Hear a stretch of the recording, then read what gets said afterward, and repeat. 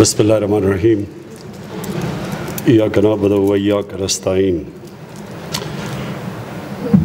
Digital Pakistan کے launch سے پہلے تانیہ نے کوئی باتیں کی اور پھر رضا باکر نے باتیں کی۔ تو میں پہلے اس کے اوپر کامنٹ کر لوں۔ کیونکہ ایک طرح میں بھی اوورسیز پاکستانی تھا۔ یعنی میں یونیورسٹی باہر گیا اور اس کے بعد پھر میں نے پروفیشنل کرکٹ آدھا سال باہر کھیلتا تھا۔ آدھا سال پھر پاکستان میں آ کے کرکٹ کھیلتا تھا۔ تو مجھے اوورسیز پاکستانیز کا پورا آئیڈیا ہے کہ کیا کس طرح وہ کیا موٹیویشن ہوتی ہے ان کی وہاں جانے کی۔ پھر جب وہ جاتے ہیں تو وہ شروع میں ہوتا ہے کہ کمائی کریں اپنی فیملیز کو پالیں، اچھی ان کو ایجوکیشن دیں۔ اور پھر ان کو ایک ڈائلیما آ جاتا ہے۔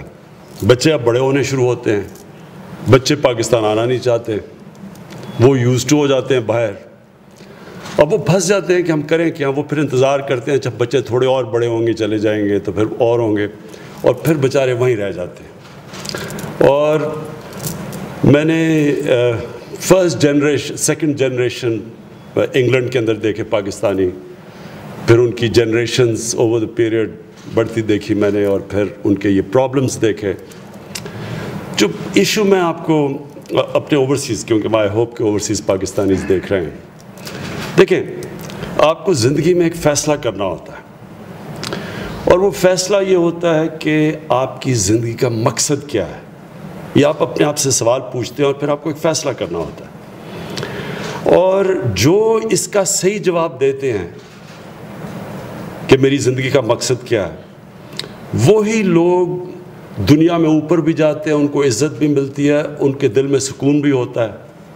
اور جو یہ غلط فیصلہ کر لیتے ہیں اور جن کو سمجھ نہیں آتی زندگی کا مقصد کیا ہے، ان کو پھر بڑی مشکلوں کا سامنا کرنا پڑتا ہے۔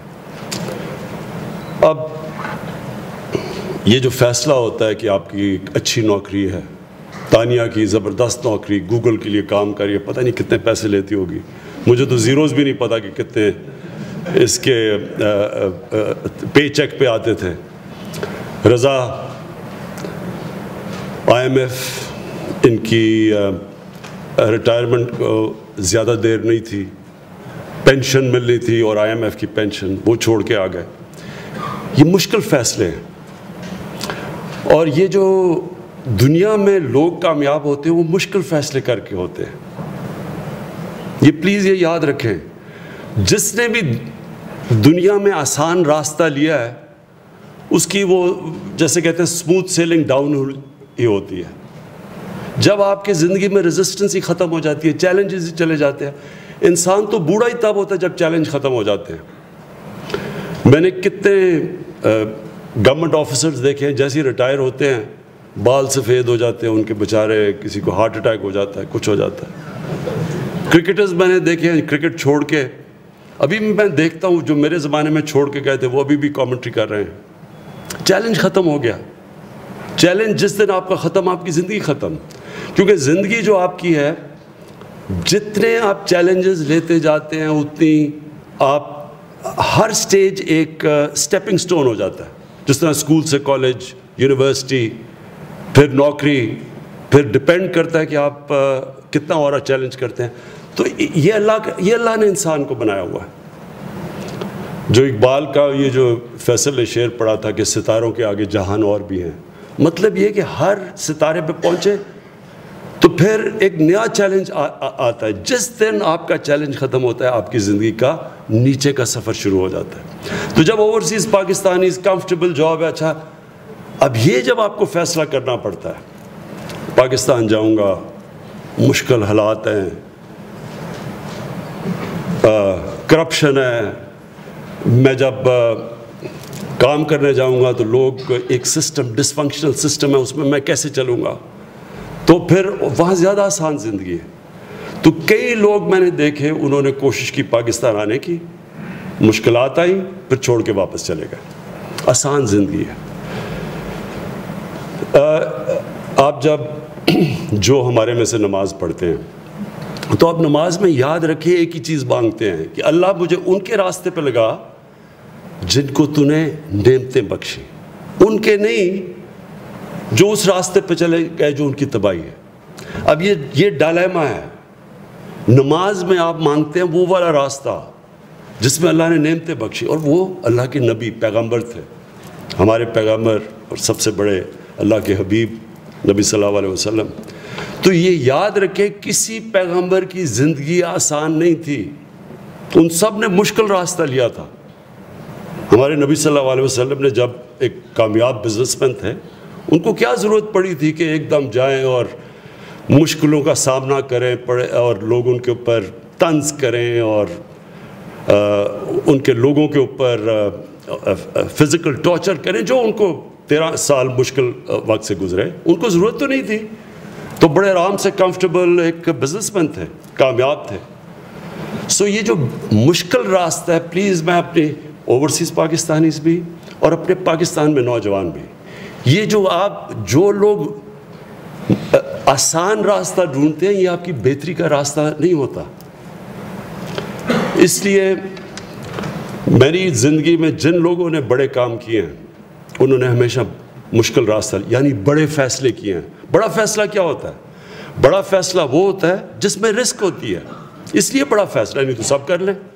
تو جنہوں نے بھی آج تک زندگی میں اوپر پہنچے ہیں، بڑے فیصلے کیے۔ اس لیے میں آپ دونوں کو داد دیتا ہوں اور میں آپ کو یہ آج دونوں کو آپ کو کہتا ہوں۔ وقت ثابت کرے گا کہ یہ جو آپ نے فیصلہ کیا، ایک ٹائم پہ آپ جا کے ریئلائز کریں گے کہ یہ آپ کی زندگی کا ایک واٹر شیڈ تھا، ایک ٹرننگ پوائنٹ تھا زندگی میں۔ اور یہ آپ ازما کے دیکھ لیں کہ وہ لوگ جو یہ رسک لیتے ہیں زندگی میں اور مشکل فیصلہ کرتے ہیں اور بڑا فیصلہ کرتے ہیں۔ بڑا فیصلے میں ایک اور چیز ہوتی ہے، اپنے سے ہٹ کے ہوتا ہے۔ جو چھوٹا فیصلہ ہوتا ہے وہ ذات کے اوپر ہوتا ہے سیلفش ہوتا ہے، اپنی، میری ذات، میری زندگی، میری تنخواہ۔ جو بڑا فیصلہ ہوتا ہے وہ پھر آپ انسانیت کا سوچتے ہیں، جو کہ اللہ کے سارے پیغمبروں نے سوچا تھا۔ اب جو آج ڈیجیٹل پاکستان ہے، مجھے اس کے اوپر پہلے توجہ دینی چاہیے تھی۔ یہ پاکستان کے اور خاص طور پہ ہمارے یوتھ کے لیے یہ سب سے امپورٹنٹ چیز ہے۔ کیونکہ یہ دنیا اب اس طرف جا رہی ہے اور ہم آگے پیچھے رہ گئے اس میں سے۔ اور جب میری گورنمنٹ آئی تو اصولوں تو مجھے شروع میں اس کے اوپر توجہ دینی پڑی تھی، چاہیے تھی۔ لیکن آپ سب جانتے ہیں اور میرے سے سن سن کے بھی تنگ آ گئے ہوں گے کہ بڑا مشکل وقت ملا ہمیں۔ اور یہ آپ پانچ سال میرے سے سنتے رہیں گے۔ پانچ سال پانچ سال آپ میرے سے سنیں گے کتنا بڑا خسارہ ملا ہمیں۔ کرنٹ اکاؤنٹ ڈیفیسٹ وہ میں سارے لوگوں کو بتا چکا ہوں۔ پہلے تو کسی کو پتہ ہی نہیں تھا کرنٹ اکاؤنٹ ڈیفیسٹ کیا ہے۔ پانچ سال کے بعد بچے بچے کو پتہ ہوگا کہ کرنٹ اکاؤنٹ ڈیفیسٹ کیا ہوتا ہے، جس کو ہم نے سرپلس پہ کر دیا۔ اور پھر فزیکل ڈیفیسٹ یعنی آمدنی اور خرچے میں جو خسارہ تھا وہ ہمیں تاریخی ملا۔ پھر سارے ادارے ڈیفیسٹ میں تھے۔ ایک گورنمنٹ کا ادارہ نہیں تھا جس جس میں ریکارڈ ڈیفیسٹ نہیں تھا۔ اور اس کے علاوہ جو سب سے بڑا پرابلم تھا ہمارے روپے کے اوپر پریشر تھا، جو ابھی رضا باقر نے بات کی کہ جب آپ کے روپے کے اوپر پریشر پڑتا ہے کیونکہ آپ کے جو ڈالر اندر آ رہے ہیں وہ کم ہیں اور آپ کے جو ملک سے باہر ڈالر جا رہے ہیں خاص طور پہ لنڈن اور بڑے بڑے گھروں پہ وہ زیادہ ہیں، باہر جا رہے ہیں۔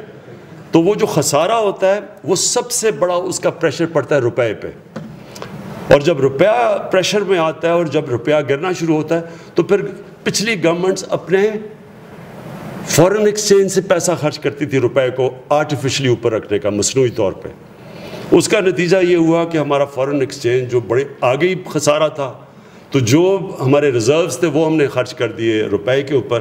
تو جب ہمیں جو سب سے بڑا ہمارا مسئلہ تھا کہ ہمارے روپے کے اوپر رن نہ ہو جائے یعنی دو سو سے ڈھائی سو پہ، تین سو پہ بھی جا سکتا تھا۔ ہمارے پاس تو پیسے نہیں تھے روکنے کے لیے۔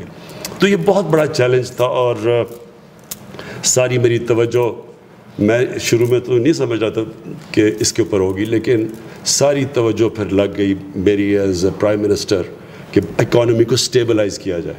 جب تک روپیہ سٹیبل نہیں ہوتا انویسٹمنٹ نہیں آتی۔ کون ڈالر کو کنورٹ کر کے روپے میں دے گا کہ اگر روپیہ اور گرنا نیچے؟ تو وہ جو سٹیبلائزیشن پیریڈ تھی، وہ ہمارے پر بڑی، بڑا پریشر تھا۔ اسد عمر ہماری شروع میں ایک جو ٹیم کا حصہ تھے، انہوں نے بھی پورا زور لگایا موجودہ۔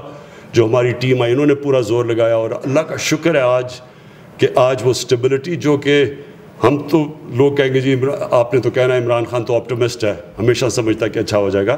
لیکن باہر کی agencies world bank I M F Asian development bank اور آخر میں موڈیز کی، جب ان کی جب یہ کہتے ہیں کہ اکانومی سٹیبل ہوگی تو اس کا مطلب کہ کانفیڈنس ہے، وہ ریفلیکٹ ہوتا ہے ہماری اسٹاک مارکیٹ کے اوپر اور جو انویسٹمنٹ بڑھتی جا رہی ہے۔ تو اب ہماری پوری توجہ ہوگی اس کے اوپر تانیہ کا اور جو یہ جو پروجیکٹ آپ ڈیجیٹل پاکستان پروجیکٹ، اس کے اوپر پورا زور لگائیں گے۔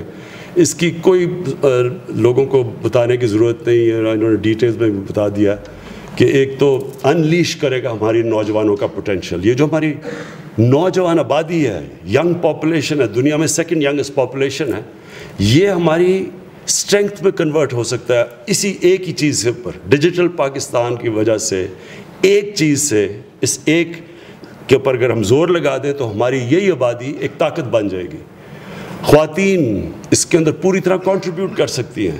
نوکریاں مل سکتی ہیں۔ اپنی اسٹینڈرڈ آف لیو خواتین یہ دیکھ لیں۔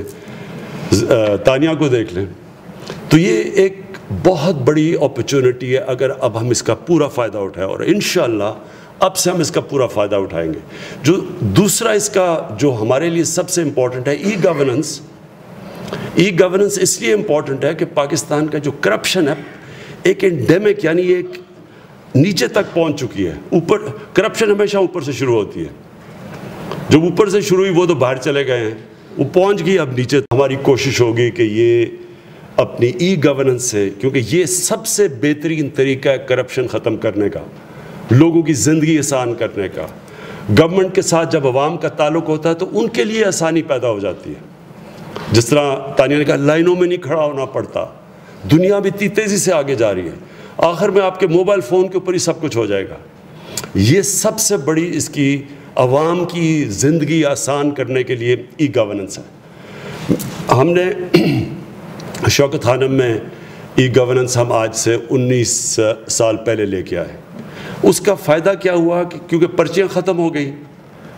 ساری جو چھوٹی موٹی جو پلفرج ہوتی تھی سب ختم ہو گئی اور وہ تو ہم نے اپنی آنکھوں سے دیکھا کہ ایک ادارے کے اندر جیسے ہی جیسے ہی گورننس آئی، ادارہ چینج ہو گیا۔ اور بہتر ہو گئی گورننس وہی کوشش کر رہے ہیں ہم گورنمنٹ میں، لیکن مجھے افسوس سے کہنا پڑتا ہے کہ بڑی ریزسٹنس آ رہی ہے۔ ہمارے جو ڈپارٹمنٹس ہیں، ہم پورا زور لگاتے ہیں، لیکن پوری کوشش کر رہے ہیں روکنے کے لیے، لیکن میں ان ان کو مایوس نہیں کرنا چاہتا، لیکن آپ زیادہ دیر روک نہیں سکیں گے۔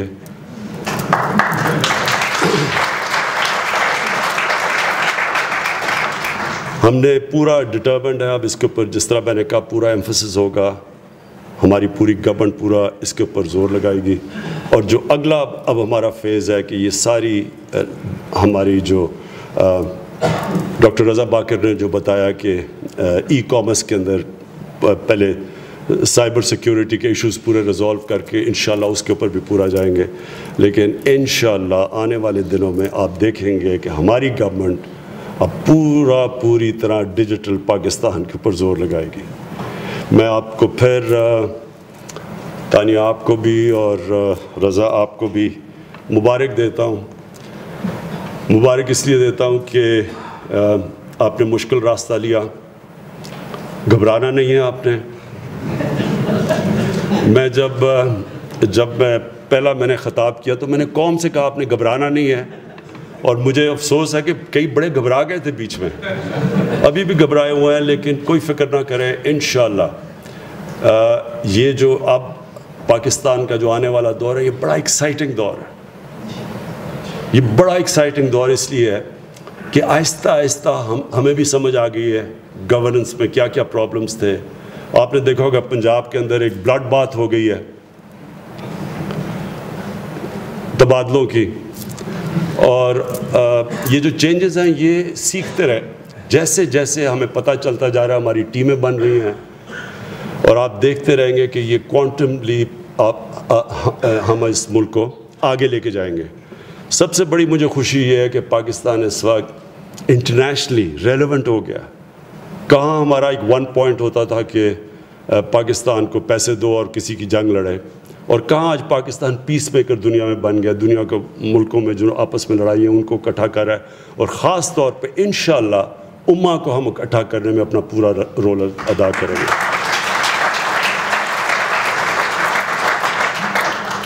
اور پھر آخر میں میرا ایڈوائز ہے تانیہ کو بھی اور رضا کو بھی گھبرانا نہیں آپ نے۔